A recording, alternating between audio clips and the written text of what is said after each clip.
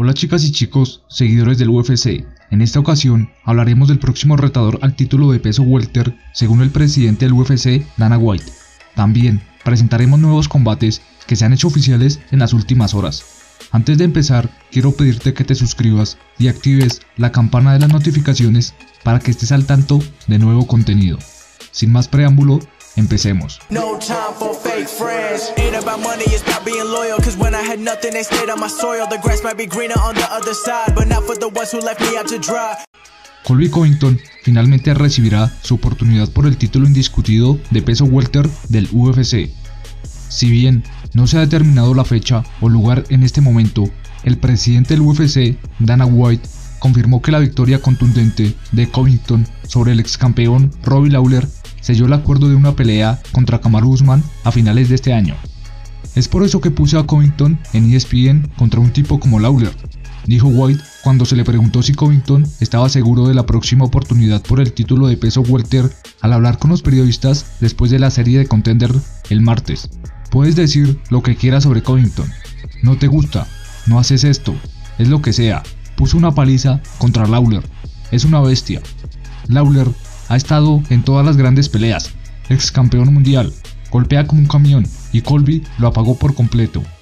Su cardio fue impresionante y la forma en que venció a Lawler fue aún más impresionante. Covington sostuvo anteriormente el título interino de peso welter del UFC hace poco más de un año, pero luego fue despojado del cinturón cuando no pudo enfrentar al entonces campeón Tyron Woodley tres meses después de una batalla de cinco asaltos contra Rafael Dos Anjos.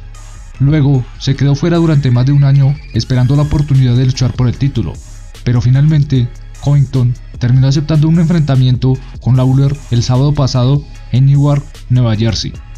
Ahora Covington tendrá la oportunidad de enfrentar a Usman, quien se convirtió en campeón de peso welter en marzo cuando derrotó a Woodley en cinco asaltos.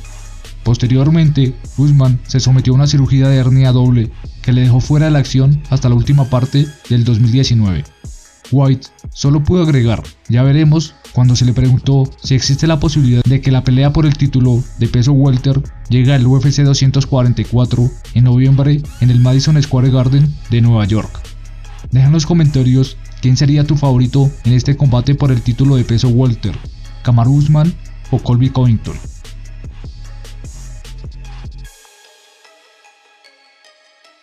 Dos peleadoras que comparten derrotas ante la actual campeona de las 135 libras, Amanda Nunes, volverán a verse las caras solo que ahora en Australia. De acuerdo a un reporte de ESPN corroborado por MMA Junkie, la ex campeona de peso gallo, Holly Holm, ha aceptado medirse a la ex retadora al cinturón Raquel Pennington en el UFC 243. Holm viene de ser noqueada en la cuestelar del UFC 235 por Nunes. Esa fue su quinta derrota de sus últimas 7 presentaciones sobre el octágono, lo cual lleva a Dana White a sugerir que debería colgar los guantes. Por su parte, Pennington, semifinalista del The Ultimate Fighter Team Rusi vs Team Tate, superó a la mexicana Irene Aldana vía decisión dividida en el UFC Fight Night San Antonio para salir de un bache de dos derrotas consecutivas.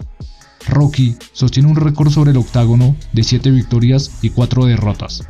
Holm y Pennington no son desconocidas, pues ya pelearon en el UFC 183. Holm ganó aquella pelea por decisión dividida.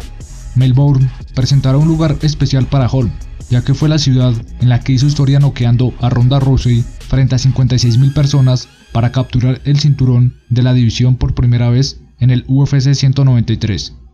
Comenta quién es tu favorita a llevarse este encuentro, Holly Holm o Raquel Pennington.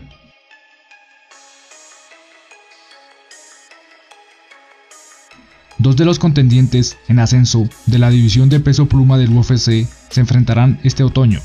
MMA 15 confirmó que Sabit Magomed Sharipov y Calvin Qatar se enfrentarán en el evento coestelar del UFC on ESPN 6 el 18 de octubre en Boston.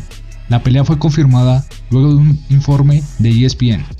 Magomed Sharipov, con un récord de 17 victorias y una derrota, ha estado invicto desde que se unió al UFC en septiembre del 2017, ganando sus 5 combates en el octágono, incluidos 3 por sumisión. Más recientemente, ganó una decisión unánime sobre el veterano Jeremy Stephens en el UFC 235 en marzo. En general, Magomed Sharipov está en una racha de 13 victorias consecutivas. Por su parte, compitiendo en su estado natal de Massachusetts, Calvin Qatar, con un récord de 20 victorias y 3 derrotas, quien está actualmente 4-1 en el UFC. Qatar viene de knockouts consecutivos en el primer asalto sobre el contendiente al título de peso pluma del UFC, Ricardo Lamas, y Chris Fishgold. Su único revés dentro del octágono fue una derrota por decisión unánime ante Renato Moicano, y ha ganado 12 de sus últimas 13 peleas. El evento del 18 de octubre estará encabezado por una pelea de peso semicompleto entre el ex campeón mediano Chris Weidman y Dominic Reyes. Comenta quién es su favorito en este gran encuentro de peso pluma.